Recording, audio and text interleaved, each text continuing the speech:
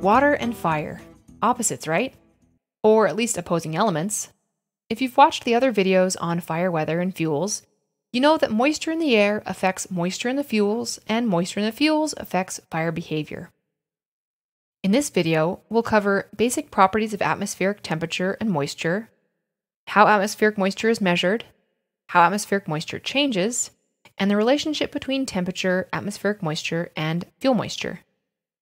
First off, where does atmospheric moisture come from anyway?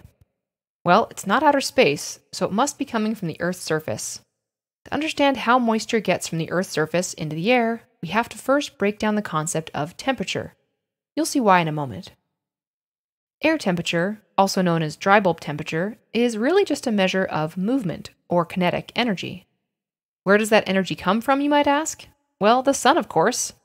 At least, that's the main source of atmospheric heating, if you recall from our video on heating and cooling of the atmosphere. Typically, the air temperature rises during the day as the Earth heats up as it absorbs shortwave radiation from the sun, and falls during the night as the Earth releases longwave radiation. Air is like a sponge for water. The warmer the air, the more the sponge can potentially hold. The colder the air, the less the sponge can potentially hold. Unlike a sponge, the moisture in the atmosphere is usually in the form of water vapor, floating around just like any other gas in the atmosphere. Water is special, though, because it can exist in all three of its phases within the atmosphere vapor, a gas, when it's just floating around, a solid when it's snow or hail, and liquid when it's raining. This is important because the process of moving from one phase to another affects the temperature of the air. When water melts, evaporates, or sublimates, it takes energy from, or cools, the environment and stores it as latent heat. This is why we sweat when we're hot. As the sweat evaporates off our skin, it cools us. Condensation, freezing, and deposition are opposite processes, and the latent heat that was stored is now released, resulting in an increase in air temperature. The change in temperature from water changing phases might seem like a drop in the bucket compared to other sources of heating and cooling, but when you have enough water that's changing phases, it can really affect the movement of the air. Let's watch how these processes play out with a thunderstorm. As air rises, it cools, and if it cools enough, the water vapor will condense. Condensation releases latent heat, which warms the air and allows the thunderstorm to grow vertically. This seemingly contradictory process and its outcomes are explored in the video on stability. Conversely, when the storm produces rain, that rain can evaporate, which is a cooling process, causing the air to sink to the ground creating downdrafts and outflow winds, which could affect the spread rate and direction of a fire. So, as you can see, the temperature changes caused by the phase changes of the water can influence air movement. Atmospheric moisture also influences fuel moisture, since fuel moisture is driven by the moisture of the air around it. Both fuel moisture and air movement influence fire behavior. If atmospheric moisture is so important, then it stands to reason that measuring it is pretty important too. Let's explore four measures of atmospheric moisture dew point temperature, wet bulb temperature, relative humidity, and vapor pressure deficit. The temperature to which air must be cooled to reach saturation is known as the dew point temperature. Saturation implies water vapor condenses into liquid water. When there's more moisture in the air, as shown on the side of the thermometer, the higher the dew point temperature, or the temperature that the air will be when saturated. The lower the moisture, the lower the dew point temperature. In other words, if there's not very much moisture in the air, the air would need to get pretty cold for the water in the air to turn to a liquid. The kind of air with a low dew point temperature feels really dry, because it is. The air with a high dew point temperature feels pretty muggy, because it is. Wet bulb is the coldest temperature the air can reach through evaporation. Remember that thing about latent heat we just talked about?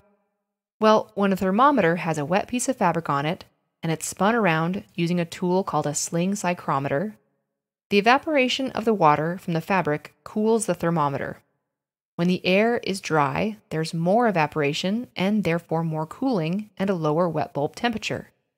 When the air is moist, there is less evaporative cooling and therefore a higher wet bulb temperature. Theoretically, if the air was completely saturated with water vapor, your wet bulb and dry bulb would be the same since no water would evaporate from the fabric. The difference between the wet bulb and dry bulb temperatures is used to estimate dew point temperature and relative humidity. Relative humidity is calculated by dividing the amount of water vapor in the air by the amount of water vapor that could be in the air if it was saturated. It's expressed as a percentage. Higher air temperatures have a greater capacity to hold water. If the temperature rises, the relative humidity decreases if the total amount of water in the air, or dew point temperature, remains constant. When relative humidity hits 100%, the air is fully saturated. So far, so good on these terms, right? Well, this next one takes a little more brain power to wrap your mind around, but it's worth the investment of attention. It turns out it's really important for fuel moisture and fire behavior. Did you know that water vapor in the air exerts pressure all around you? Well, actually, all gases in the atmosphere exert pressure, but water vapor pressure is notable because the pressure changes all the time as water gets added and removed. So, vapor pressure is a measure of the atmospheric moisture because the more vapor in the air, the more pressure there'll be. And which of the measures that we've talked about is a measure of the actual water vapor in the air? The dew point. And what do you use to measure the dew point? A wet bulb. You connecting the dots yet? Now, saturation vapor pressure is the vapor pressure exerted by the water molecules if the air was saturated. If the air temperature is the same as the dew point temperature, the saturation vapor pressure and the actual vapor pressure would also be the same, and the relative humidity would be 100%, and you'd probably be sitting in a cloud of fog. Relative humidity is calculated by taking the actual vapor pressure divided by the saturation vapor pressure giving you a percent. But what happens when we take the saturation vapor pressure minus the actual vapor pressure? When we subtract the two, we get the vapor pressure deficit, or what it's lacking, expressed in kilopascals. A relatively low VPD, below, let's say, 1 kilopascal, signals wet conditions because there's less difference between the saturation and actual vapor pressure. A relatively high VPD, say 3 kilopascals, signals dry conditions because there's a greater difference between the saturation and actual vapor pressure. Now, this might seem unremarkable, but the effects on the fuels are significant between the two different math equations. Think about the VPD from a living plant's perspective. A plant in an area with a high vapor pressure deficit is likely to lose more moisture to the air than a plant in an area with a lower VPD, now, which one of these plants do you think is more stressed and would be available to burn sooner? Well, the drier plant in the area with a higher VPD, of course. VPD and RH might seem to be telling you the same thing, but there are some key differences between the two variables. In this figure, you can see we have cooler and warmer air parcels. The warmer air holds more water vapor molecules. Let's say that both parcels of air were at 50% RH. Do you think fuels would dry out at the same speed in both parcels? Well, just looking at RH, you might.